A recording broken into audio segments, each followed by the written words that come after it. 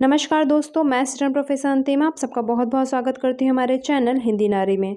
दोस्तों पीजीटी की बहुत बड़ी भर्ती हमारे सामने दिख रही है। यहाँ पर छः हज़ार प्लस पदों पर यह भर्ती आ रही है और आप सब तैयार हो जाएँ, कमर कस लें इस नई भर्ती के लिए, क्योंकि इस भर्ती के लिए आवेदन शुरू हो गए हैं और बहुत जल्दी ही ये पूरी भर्ती प्रक्रिया शुरू कर दी जाएगी। आइए देखते हैं इस भर्ती के विस्तृत विज्ञापन पर। तो दोस्तों, ये रहा विस्तृत विज्ञापन।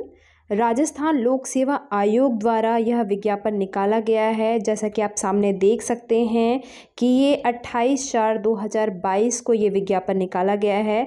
आइए हम देखते हैं इस पूरे विज्ञापन को विस्तार से।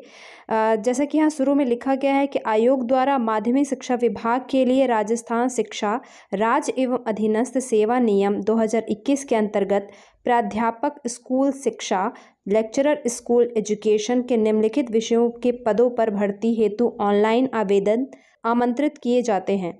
पद अस्थायी है एवं एवं विभाग से प्राप्त कुल रिक्त पदों, जिसमें पदों की संख्या में कमी भी की जा सकती है और बढ़ोतरी भी की जा सकती है, के आधार पर वर्गवार, वर्गीकरण यहाँ आपके सामने दिख रहा है। यहाँ पर एक जो शब्द है, पद अस्थाई है, इसमें आप लोग बहुत कंफ्यूज होंगे। यहाँ मैं पहले ही बता दूँ कि यह पद का जो नेचर होता है, वह अस्थाई ही लिखा जाता है सामान्य तौर पे। यह पद जब अपने परिवीक्षा काल प्रोबेशन पीरियड जब कंप्लीट होते हैं, तब ये पद अस्थाई माने जाते हैं। तो विज्ञापन में इन्हें अस्थाई ही लिखा जाता है, इसलिए कन्फ्यूज़ ना हो। तो आइए हम देखते हैं प्रत्येक विषय पर कितनी कितनी सीट निकाली गई है। तो यहाँ आप देख सकते हैं पूरा विस्तृत विज्ञापन है लगभग छब्बीस विषयों में। लगभग छब्बीस विषयों में ये विज्ञापन निकाला गया है और सभी विषयों में बहुत अच्छी मात्रा में सीट है। आप देख सकते हैं कि लगभग हज़ारों हज़ारों की संख्या में यहाँ पर सीट निकाला गया है।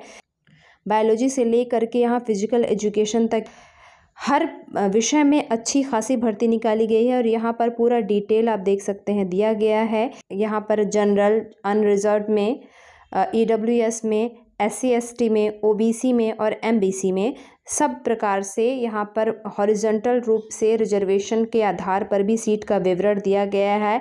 आप इसको देख सकते हैं यहाँ पर।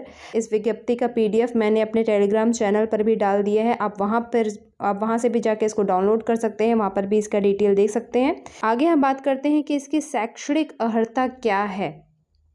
तो शैक्षणिक अर्हता बहुत सिंपल है।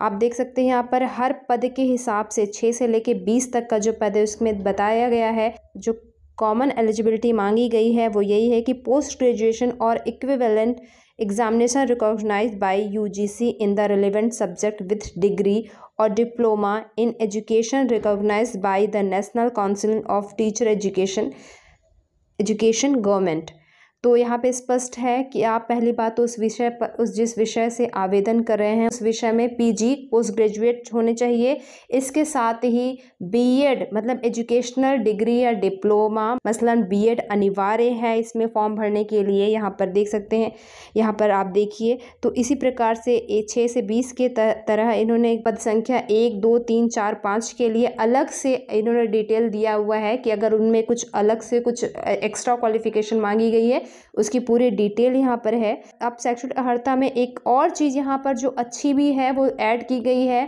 कि यहाँ पर अपियरिंग्स जो हैं, वो अलाउ किए गए हैं। अब देखिए कि पद की अपेक्षित शैक्षणिक अर्हता के अंतिम वर्ष में सम्मिलित हुआ हो या सम्मिलित होने वाला व्यक्ति भी आवेदन के लिए पात्र होगा। तो इसलिए जो अपियर्स हैं, वो भी अलाउ किए गए हैं। पे ग्रेड की बात करें तो सामान्यतः भारत सरकार का जो पे ग्रेड है लेवल है, अड़तालीस सौ पे ग्रेड पे यह जॉब है। लेकिन यहाँ साथ में एक नोट भी निकाला गया है कि जब तक ये परिवीक्षा अवधि रहेगी मतलब जब तक प्रोबेशन पीरियड है तब तक एक फ़िक्स अमाउंट कर दिया गया है। राज्य सरकार द्वारा वही अमाउंट आपको पे किया जाएगा। जब आपका प्रोबेशन पीरियड ख़त्म हो जाएगा, उसके बाद से आप इस पे लेवल पर आपको सैलरी दी जाएगी। आयु सीमा की बात करें तो यहाँ पे स्पष्ट किया गया है कि दिनांक एक एक दो हज़ार तेईस से मतलब एक जनवरी दो हज़ार तेईस से ये काउंट किया जाएगा, जिसमें न्यूनतम आपके इक्कीस वर्ष और मैक्सिमम चालीस वर्ष होनी चाहिए। तो यहाँ पर मैक्सिमम की लिमिट दे दी गई है मिनिमम की भी लिमिट दे दी गई है। जहाँ पर कुछ छूट है, यहाँ पर कुछ आवश्यक, कुछ कंडीशनों में जो छूट है, उसकी डिटेलिंग यहाँ पे दी गई है। आप डिटेल में देख सकते हैं यहाँ पर। अब इसके कुछ अन्य विवरण पर बात करें तो चयन प्रक्रिया किस प्रकार से होगी, ये एकदम स्पष्ट कर दिया गया है कि जो चयन प्रक्रिया है, वो रिटर्न परीक्षा करवाई जाएगी। रिटर्न परीक्षा के आधार पर ही ये चयन होगा। अभी तक इसमें साक्षात्कार की कोई बात नहीं की गई है। केवल रिटर्न के बारे में बताया गया है कि रिटर्न के आधार पर ही ये जो है वो चयन होगा और रिटर्न के एग्ज़ाम में नॉर्मलाइजेशन हो सकता है मॉडरेशन हो सकता है स्केलिंग हो सकती है। ये बात पहले स्पष्ट कर दी गई है। परीक्षा का स्थान वहाँ कब होगा यह भी डिसाइड नहीं है। जैसे जब आपके एडमिट कार्ड आएँगे, तब ये परीक्षा वहाँ पे उसकी पूरी डिटेल उसमें दे दी जाएगी। अब बात करें यहाँ पे आवेदन की तो पाँच मई से यह आवेदन शुरू हो जाएँगे। पाँच मई से लेकर के चार जून तक ये आवेदन आपके लिए जाएँगे। यहाँ पे पूरा डिटेल दे दिया गया है कि आवेदन की प्रक्रिया क्या होगी। इस वेबसाइट पर जा कर के आपको आवेदन करना है। आप पूरा स्टेप बाय स्टेप और डिटेल में पढ़ लें। इसके आवेदन शुल्क की बात करूँ तो यहाँ जो देख सकते हैं कि आप जो परीक्षा शुल्क है, वहाँ पर पूरी डिटेल दी गई है कि रुपये तीन सौ पचास जो है, वो अनारक्षित के लिए हैं। क्रीमी लेयर ओ और ई के लिए दो सौ पचास रुपये और इस तरीके से पूरा विवरण यहाँ पर दिया गया है, आप देख सकते हैं। हाँ एक बात और यहाँ पर मैंशन की गई है, वो आप ज़रूर समझ लें कि यदि आप किसी भी तरह का संशोधन करवाते हैं अपने फॉर्म में तो उसके लिए पाँच सौ रुपये प्रति संशोधन देय होगा। किसी भी प्रकार का संशोधन करवाते हैं अपने फॉर्म में। फॉर्म भरते वक्त आपको कोई त्रुटि हो जाती है इसमें कोई संशोधन करवाते हैं तो आपको पाँच सौ रुपये वहाँ पर देना होगा, तब आप फॉर्म फॉर्म, तब आप फॉर्म में संशोधन करवा सकते हैं। इसलिए जो फॉर्म है, वो बहुत अच्छे से भरें और फॉर्म भरते वक्त जिस भी मोबाइल नंबर का यूज़ करें, जो भी मेल का यूज़ करें, ध्यान रहे वो आपका ही हो क्योंकि उसी मेल और उसी मोबाइल पर ही हमेशा आपके मैसेज आएँगे। तो अपने ही मेल या अपने मोबाइल का ही, अपने मोबाइल नंबर का प्रयोग करें। अब बात करते हैं कि एग्ज़ाम के प्रारूप का तो एग्ज़ाम कैसा होगा? तो आप यहाँ पे ये भी पूरा इस नोटिफिकेशन में आयोग ने स्पष्ट किया है कि दो पेपर होंगे।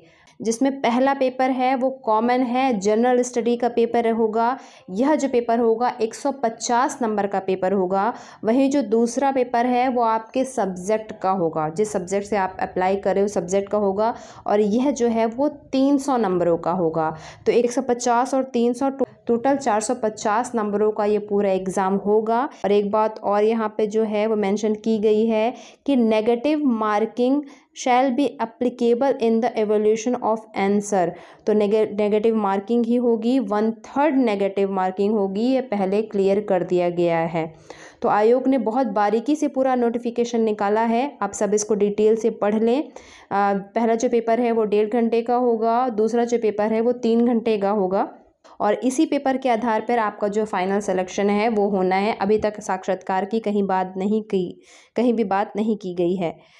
तो ये पूरा नोटिफिकेशन आप सब पढ़ लें। पूरा डिटेल नोटिफिकेशन आपको आरपीएससी के साइट पर भी उपलब्ध है और इसके साथ मैंने अपने टेलीग्राम चैनल पर भी ये पूरा नोटिफिकेशन डाल दिया है। और इस विज्ञप्ति से जुड़े जो भी आपके डाउट हो, जो भी आपके क्वेश्चन हो, जो भी डाउट है, जो भी क्वेश्चन आपके हैं, आप सब मुझसे कमेंट सेक्शन में और मेल में पूछ सकते हैं। तो जल्दी फॉर्म भर दीजिए और लग जाइए तैयारी में। मेरे और मेरे चैनल की तरफ़ से आप सभी को ढेरों शुभकामनाएँ। शुक्रिया।